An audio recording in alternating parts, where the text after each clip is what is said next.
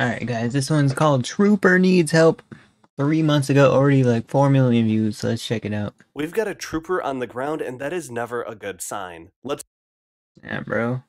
Guys, what would you do if you saw a, a, a, a trooper, uh, just like on the side of the road, like wrestling with the suspect or whatever, guys? Yo. I'm sorry, but uh, yeah. What would you guys do? let's take a look at how we got here and break this one down. It No snap. I didn't. I thought I didn't know if this one had a commentary, but it does. Midwest Safety does have commentary, guys. It all starts with a pedestrian on the freeway, illegal in most states, including Minnesota. Normally, Dang, bro. Because when I walked on the freeway, a police car did get bu- behind me, but I made it. I made it. I'm. I'm. I made it back. Like, thankfully, uh, I didn't get arrested for it, bro. I didn't. Did not know. No, that this is Minnesota.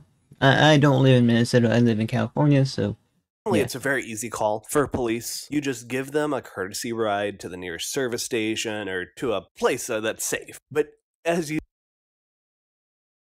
Gosh, it sucks being a pedestrian, bro. You saw how clo- how how slowly he he's walking compared to those cars, man. Being a pedestrian is just depressing, guys. Because when I was homeless, I was a pedestrian the whole time, man. And uh, guys, it was uh depressing because like all these cars, man. I felt like because there's cars everywhere. you know this this call is going to be far from easy and the first hint of something weird about this is the pedestrian is actually walking away from the nearest gas station the, gas station or service station is actually behind him within 7 to 10 minutes or so our first trooper arrives on scene And is he lost? Guys, he seems to be lost as well, man. That'd be scary to be lost while, while just walking on the freeway. to help the pedestrian get to a safer location our pedestrian now looking But how does this escalate, guys? How does this escalate, man? cool as a cucumber takes one final swig of his drink. He's been walking for over a mile by now. And Yeah, bro, they got cameras everywhere in Minnesota, bro. Reading the body language, it seems the pedestrian wants to keep walking down the freeway, and it seems like the individual in question starts walking away from the trooper, and he's coming up to a big interchange here. So the trooper, to protect everyone's safety, is going to step between him and that interchange that's coming up because there's a, a big on ramp between I 694 and I 35W in the North Metro. So he's For a second there, I thought he was like gonna be drinking, like uh, like actual alcohol, but no, I don't know.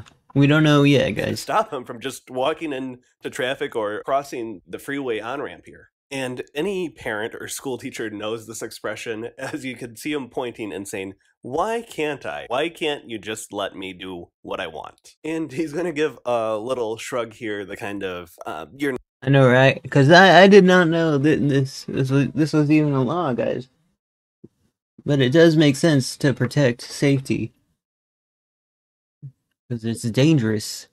not in charge of me. Uh, Someone swerves, you're uh, going, you know, the speed limit on the freeway, man. Someone just makes a wrong swerve, or they don't even see you. Could be lights out. I'm going to do what I want. And here the, the, the officer is telling him no, and you can see Like straight up arguing with them. moves back like what you're going to tell me no and this is where we kind of get to adult coping skills uh, you want to you want to as an adult develop the skills to handle rejection to handle someone telling you no you can't do what you want anyway here's the moment uh, you can see the trooper there reaching for his radio asking for a second unit 14 Metro, can you start me a partner? we get a little obstructed by the sign but thankfully we have Uh oh, guys. It's not good, man. have another angle our individual He calls for backup. You know you're in like uh, you're you're in trouble, man. Is going to try to walk away again and get the same answer. And this is where things go hands on. It looks like he reaches out at the trooper, and this is the point where the trooper has just had decided he's had enough. and he's going to be east on Dang, bro, he, he went in.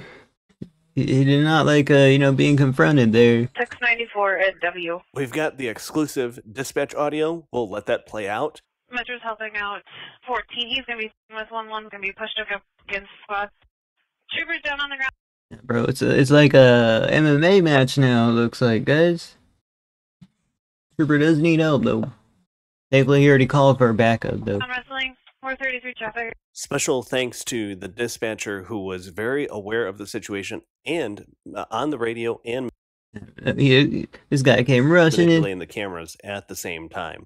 Now, I want to be fair to the suspect in this case. At no point does he strike the officer, and I, I want to be explicit about this. He's also not accused of striking the officer. So this looks more like a matter of a bear hug as opposed to a street fight. As a rule of thumb, we actually don't publish street fights. That's the policy that we have here. Now, And it's I think it's a policy on YouTube as well, guys. There used to always be like fights. you saw the taser Uh, I'm not sure they're still on YouTube. I don't want to see them anymore though. I don't, I don't watch. out. We did confirm the taser was never deployed. Uh, the That's good because tasers actually do like end up causing casualties sometimes. individual gave up and was taken into custody without injury, thankfully, without anyone being injured, and no taser deployed in this instance. But importantly, you don't have to take my word for it or the police's word for it because we actually have a third angle on this incident. Why are there so many cameras around here, bro? And they're, they're actually like capturing movement as well. It's like uh it's like 1984 up in here, bro. and take a look. It provides a third angle, and the benefit of some of these DOT cameras in Minnesota, of which there's about 1,100 of them, is they do provide a good sense for transparency in government and to allow citizens to see what's really happening out there. So, And that is true.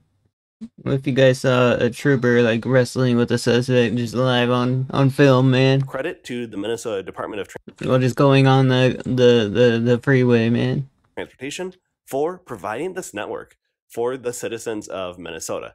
Again, you can see it's really more of a scuffle.